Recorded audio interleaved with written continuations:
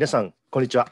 篠研の篠崎です。大学で教員をする傍ら、通信講座、篠研の日本語教育能力検定試験対策、それから日本語教育ビジネスの力をつける篠研サロンビジネス実践部の運営をしております。今回はですね、えー、なぜ過去問を解いても検定試験に合格できないのかと題しましてお話しさせていただきます。えー、検定試験の勉強はですね、まあ、過去問に始まり過去問に終わるというふうに言われていますね。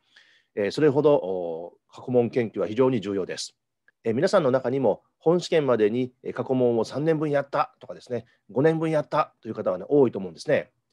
とはいえ、過去問をやったからといって合格できるわけではありません。実際、過去問を5年もやって答えも覚えたのに合格できなかったという人が、まあ、毎年相当数いるんですね。もちろん中には過去問を数年分やって、まあ、難なく合格するという方もいらっしゃいます。では、その差は何なんでしょうか？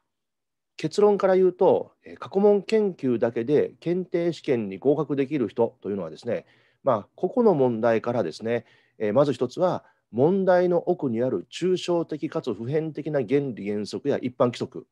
それから出題者の意図、それから問題と教育現場とのつながり、こういうのをですね、まあ、瞬時に想像することができる人なんですね。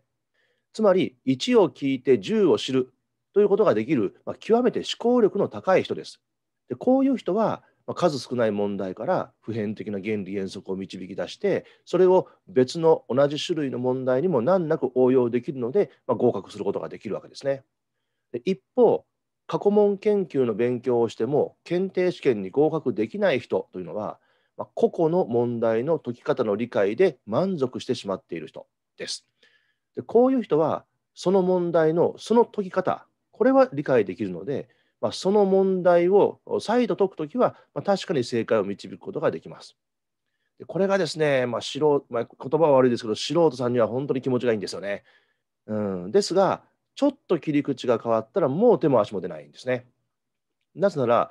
えー、問題の奥にある抽象的かつ普遍的な原理原則や一般規則それから出題者の意図それから問題と教育現場とのつながりこれを理解していないからです。要は問題を表面的にしか理解していないんですね。まあ、言葉は悪いですけれども、まあ、出題者からするとですね、こういうタイプはもう一番のかもです。どうしてかと言いますと、問題を表面的にしか理解していないので、まあ、引っ掛け問題に簡単に引っかかってくれるからなんですね。でまた、こういうタイプの人に限ってですね、1を聞いて10を知る、そういうまあ高い思考力の人の勉強法を真似したがります。なぜならば、まあ、一見楽に合格できるように見えるからですね。目に見えない思考力の差というものが、まあ、文字通り見えていないわけです。まあ、あの今回はですね、ちょっと私も厳しい、えー、コメントをしてますけれども、まあ、厳しいなと思われる方はですね、まあ、愛の無知と思ってくださいね。では、えー、過去問研究では合格できない人はどのような勉強をすればいいのか。もちろん過去問研究も大切です。ですが、過去問は出題範囲から部分部分をかいつまんで出題されているにすぎません。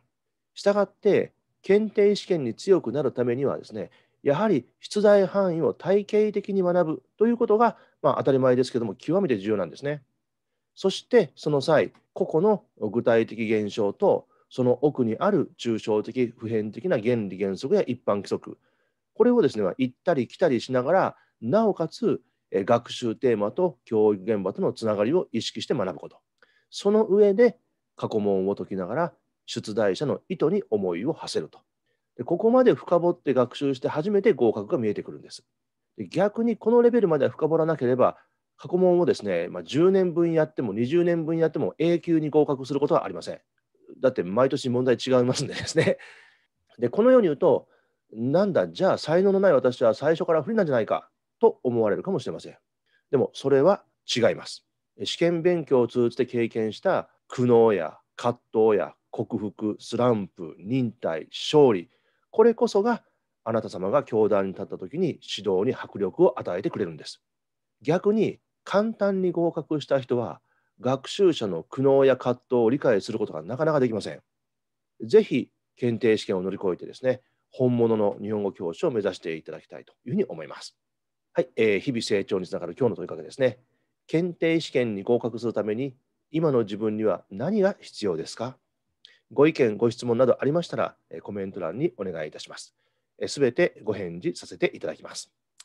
今日も日本語教育を楽しみましょう。